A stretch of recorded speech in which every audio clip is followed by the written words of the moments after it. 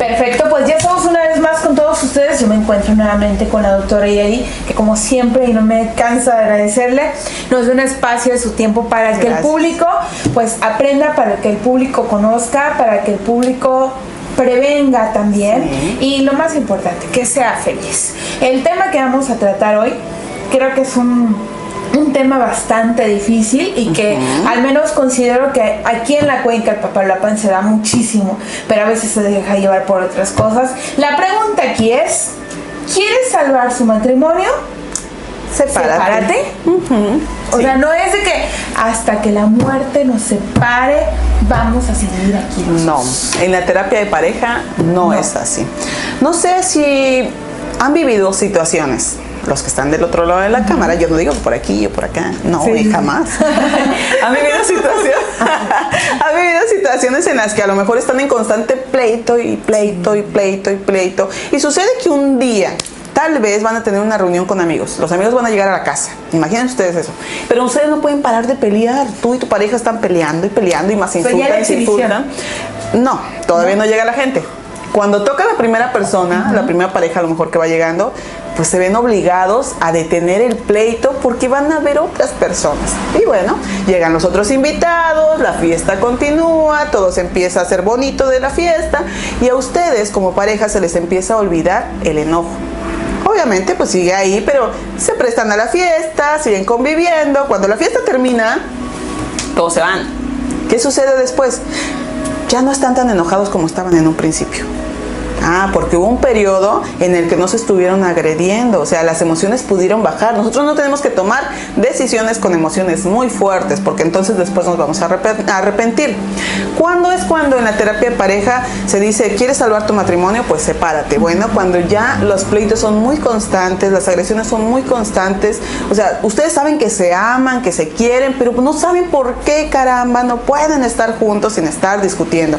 Bueno, probablemente hay situaciones que ya están saliéndose de nivel y entonces debe de haber una separación terapéutica, ecológica. En esta separación, cuando hay niños, Ojo, ustedes tienen que hablar directamente con sus niños y decir, hablar, ¿saben qué? Este, en la terapia en la que estamos nos están sugiriendo que nos alejemos. Ustedes no traten de esconderle a sus hijos que, lo que está pasando porque los hijos siempre se dan cuenta, aunque ustedes creen que estén durmiendo, que se fueron con la abuela, que a lo mejor la puerta está cerrada. No, los niños siempre se dan cuenta. Entonces sean honestos con sus hijos porque después ustedes piden, sean honestos con nosotros y entonces ustedes no son honestos con ellos. Entonces no, tenemos que pedir lo que damos, ¿sale? Entonces, hablando con los chicos, explicándole que nada más van a hacer la terapia de separación es de tres meses, exageradamente hasta seis meses. Ecológica, dice usted. Ecológica, sí.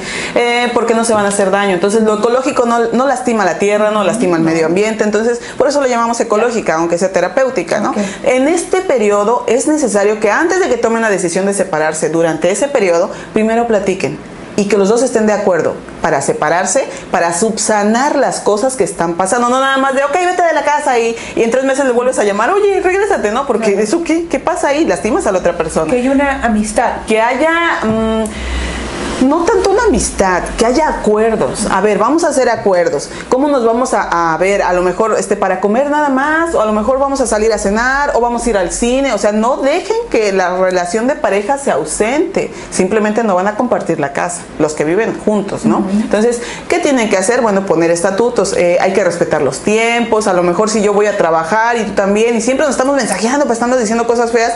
Bueno, solamente mándame mensajes en la mañana y en la noche a la hora que yo salgo y me dejas laborar todo el día sin tener el estrés. en paz. Y en paz, exactamente. Entonces tienen que llegar a acuerdos. Esos acuerdos normalmente se dan dentro de la terapia porque a veces, cuando estás allá afuera, a veces me preguntan, ¿pero por qué tiene que ser ahí en el consultorio? Ah, bueno, les voy a decir por qué. Este es un medio en el que ustedes no se ven influenciados por cosas externas. Aquí no pueden correr. Aquí si tu pareja te está diciendo cosas, te tienes que aguantar y tienes que quedarte quieto y entonces responder de la mejor manera quitando toda la basura que normalmente allá afuera le dirías. Entonces, es un medio en el cual ustedes pueden llegar a acuerdos. Esa es la ventaja del consultorio. Cualquier consultorio que ustedes elijan, la idea es que haya alguien de por medio, ¿para qué? Para que ustedes no tengan que explotar, porque normalmente cuando están solos ya se acostumbraron a explotar y a huir, porque un medio de huida es decir groserías, gritar, uno grita más fuerte que el otro y entonces el otro pues no dice nada, o a lo mejor uno agarra se da la vuelta y se va, entonces no terminan el diálogo. Entonces, por eso necesita haber una persona que medie esa situación, que diga, a ver, espérate, aquí hay reglas. Hablas tú 10 minutos, ahora hablas tú y así sucesivamente. Entonces, dejan de hacerse daño. La separación terapéutica entonces es lógicamente nada más para eso, para que se dejen de hacer daño y a veces es necesario que sea un periodo muy largo porque a lo mejor ya son cosas muy fuertes las que están viviendo, a lo mejor ya ni siquiera hay sexualidad, a lo mejor ya nada más, a lo mejor incluso hasta hay golpes, tal vez, ¿no? Puede ser. Entonces, la separación terapéutica tiene ustedes que estar dentro de una terapia para poderse separar durante ese periodo. Además, eh, cuando termina el periodo de la, de la, separación, dentro de la terapia, el terapeuta les va a decir, bueno, cada uno de ustedes tiene que decir, ¿quieres regresar con tu pareja o no quieres regresar? Cada uno es responsable de si quiere o no regresar, sin verse obligado a lo que el otro decide. Por eso ya tuvieron un periodo, por eso ya fueron novios otra vez. Y entonces, si se dan cuenta que como novios funcionan, pues como pareja mejor, ¿no? Entonces, es una separación terapéutica siempre y cuando, obviamente, haya un terapeuta de por medio y haya acuerdos. Siempre va a ser para bien. Ya saben, ¿eh? un terapeuta, no la vecina, la prima, la suegra, la cuñada, la hermana, no, no. Debe de ser algo terapéutico. ¿Horarios de atención aquí en la clínica? Claro que sí, estamos de lunes a sábado de 10 de la mañana a 2 de la tarde y de 4 a 8 previa cita al 5 50 26. Perfecto, muy bien, muchísimas gracias, doctora Ireri. Y nosotros nos vamos, cuídense mucho, por favor. Nos separamos.